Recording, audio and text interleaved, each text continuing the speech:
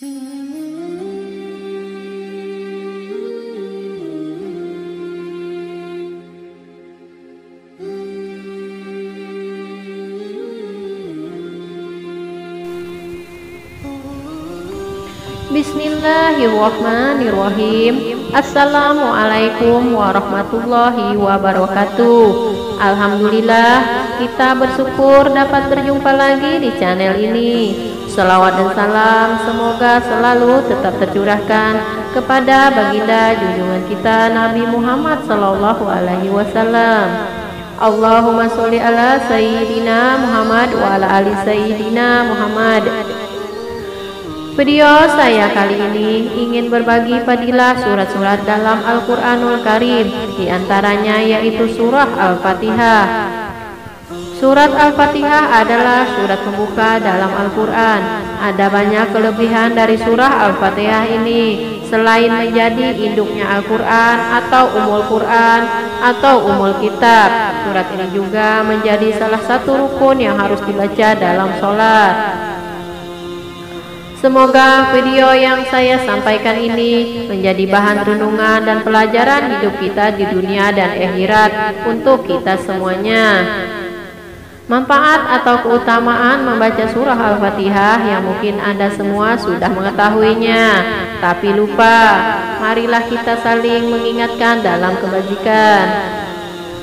Ada banyak fadilah dan keutamaan ketika seseorang membaca surah Al-Fatihah ini Antara lain Satu, membaca surah Al-Fatihah mendapat pahala seperti membaca sepertiga Al-Quran Dua, amalkan membaca Al-Fatihah sebanyak 70 kali setiap hari.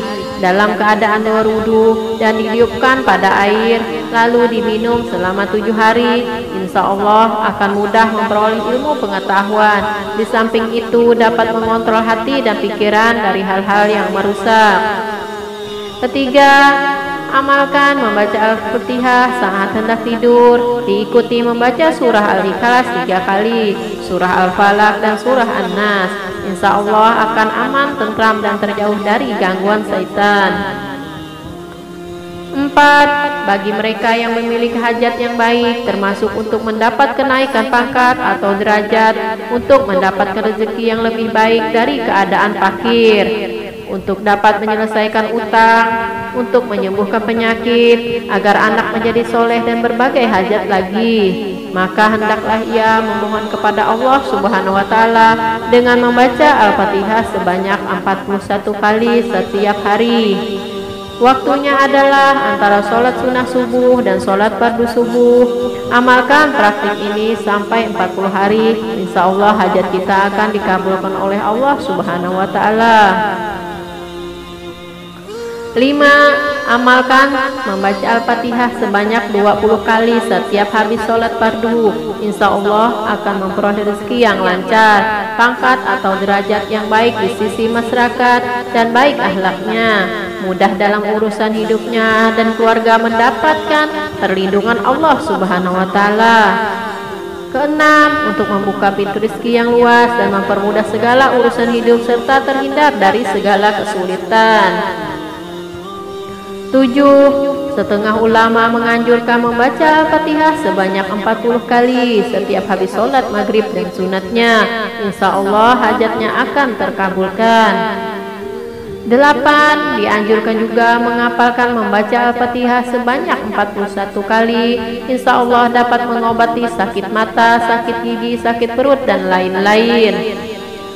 Sembilan, barang siapa mengamalkan bacaan Al-Fatihah di waktu sahur atau tengah malam sebanyak 41 kali, maka Allah Subhanahu wa taala buka pintu rezekinya dan dia mudahkan urusannya tanpa kepayahan dan kesulitan. Selesai membaca surah Al-Fatihah tersebut, sebaiknya kita berdoa yang bunyinya seperti ini. Ya Allah, sesungguhnya aku mohon kepadamu dengan kebenaran surat Al-Fatihah dan rahasianya, sehingga engkau bukakan bagiku pintu-pintu rahmat, karuniamu dan rezekimu, dan engkau mudahkan setiap urusanku, murahkanlah bagiku rezekimu yang banyak, tanpa kekurangan dan tanpa susah payah. Sesungguhnya engkau berkuasa atas segala sesuatu. Aku memohon kepadamu ya Allah dengan kebenaran surat Al-Fatihah dan rahasianya berikan apa yang kuhajatkan amin ya robbal alamin Itulah beberapa padilah atau wasiat dari surat Al-Fatihah yang bisa kita amalkan sesuai dengan hajat kita. Apa pun hajat kita, asalkan kita percaya dan yakin dengan kekuasaan Allah, tentu Allah akan mengabulkan doa-doa kita. Sahabat YouTube yang dirahmati oleh Allah, demikianlah video saya kali ini. Sekali lagi saya berharap sahabat YouTube mau mensubscribe channel ini dan mengaktifkan loncengnya agar setiap saya mengupload video terbaru sahabat YouTube tak ketinggalan. Semoga isi video yang saya sampaikan bermanfaat untuk kita semua. Alhamdulillahirabbil alamin. Allahumma sholli ala sayyidina Muhammad wa ala ali sayyidina Muhammad. Wassalamualaikum warahmatullahi wabarakatuh.